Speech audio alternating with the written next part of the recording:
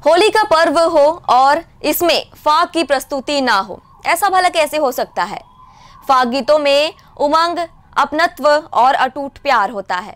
होली के अवसर पर सीएसबी कॉलोनी में लोक कलाकार पंडित शिवराज शर्मा ने फाग गीतों की प्रस्तुति से श्रोताओं को असीम ऊर्जा से भर दिया।